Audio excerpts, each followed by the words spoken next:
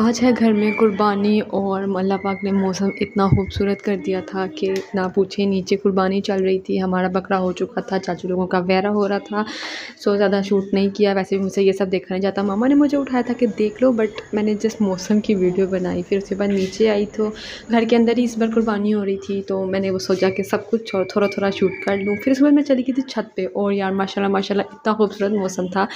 First day जितनी गर्मी पड़ी थी ना, सेकेंड डे उतना ही अच्छा हो गया था मौसम एंड बहुत थकावट वाला दिन रहा मेरा। और फिर मैं आ गई थी नीचे, तब तक नीचे सारा काम वाम हो गया था और बारिश शुरू हो चुकी थी। असलकुम कैसे हैं आप सब? उम्मीद करती हूँ आप सब ठीक होंगे। Welcome to my channel Rimsha vlogs okay जी, हो गया है सेकेंड डे ईद का शुरू। और सबको ईद मुबारक एक बार फिर से।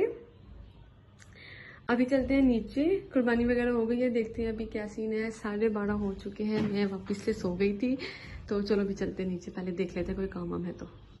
अच्छा जी, मैं आ गई थी नीचे और गोश्त वगैरह बन के मतलब रेडी हो चुका था। बस अब उसके शॉपर्स बनाने थे, जो कि वो मैं ही करूँगी, क्योंकि मामा जो है, कीमे के लिए गोश्त को साफ़ कर रही थी।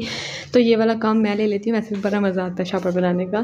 खैर, उससे पहले देख लेते हैं किचन में क्या चल रहा है। तो मामा एक तरफ़, यहाँ पे ना मामा बना रही थी कलेजी। भाई, मुझे कमेंट में बताना, कलेजी किस किस को पसंद है? मुझे तो नहीं पसंद।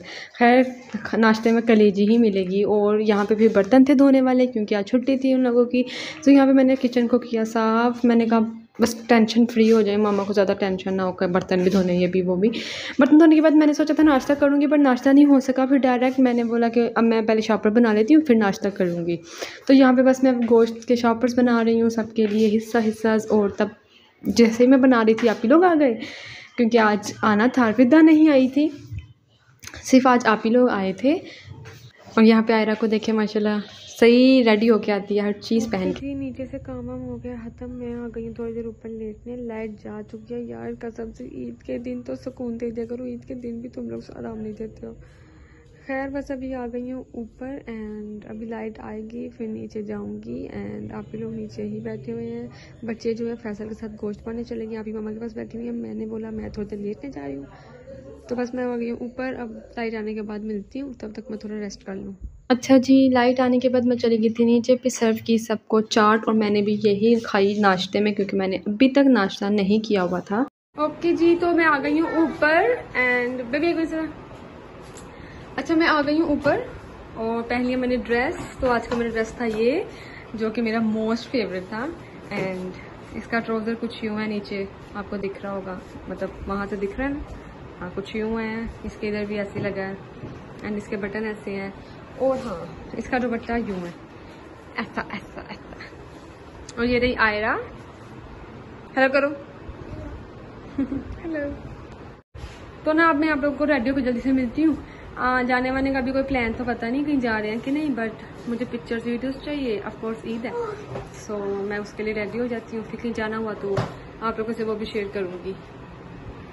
ओके जी हो गई मैं रेडी फुल ओके आज मैंने ब्राउनिश मेकअप किया और ग्रीन आईज की है.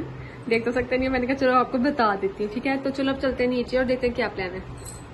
सो so, नीचे आए तो मम्मा बना रही थी खाने की तैयारी कर रही थी आज मम्मा ने बनाया था कीमे की टिक्कियाँ विद चटनी। बस फिर उसके बाद हम लोगों ने वो खाना खाया एंड प्लान हम लोगों का बन गया था। ओके okay जी तो खाना वाना खा लिया है सो आगे का प्लान दिया है कि अब हम जा रहे हैं चाचू के घर सो अब बाकी वहाँ जाके दिखाती हूँ आप लोगों को।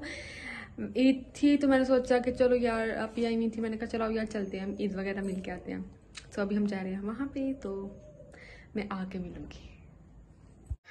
ओके जी, पहुँच गए हम लोग चाचू के घर। में, आपी और आयरा आए थे सिर्फ़। मम्मा बहुत ज़्यादा थक गई थी तो वो कहती, मैं नहीं जाऊँगी। सो मैं पहले ही बता दूँ, मैं यहाँ पे कुछ ज़्यादा कुछ खास शूट नहीं कर सकी। यहाँ पे कुछ इतना ऐसा है भी नहीं था कि मैं दिखा सकूँ। सो खैर, सबसे पहले चाची ने हमें सर्व की कोक एंड देन उन्होंने आइसक्रीम मंगवा ली थी। बस हम लोगों ने वो खाई, ढेर सारी गप शप हुई, ईद मुबारक वगैरह मिला और बस बहुत सारी बातें की एंड फिर हम लोग आ गए थे उसके बाद घर। अच्छा जी ईद डे टू का मैं एंड नहीं कर सकी थी ब्लॉग का सो मैं आज कर रही हूँ। और बस कुछ खास नहीं किया था, काफ़ी गपशप हुई एंड फिर बस आ गए घर। उसके बाद जो है ना, हिम्मत ख़त्म हो गई थी कि मैं ब्लॉग करूँ। घर आके एंड ही नहीं किया तो मैं सोचा था नेक्स्ट डे कर लूँगी। सो आज कर रही हूँ मैं अपने ब्लॉग का एंड इन आप लोगों से नेक्स्ट ब्लॉग में मुलाकात होगी। तब तक अपना ख्याल रखना दुआ में याद रखना। अल्लाह हाफिज़।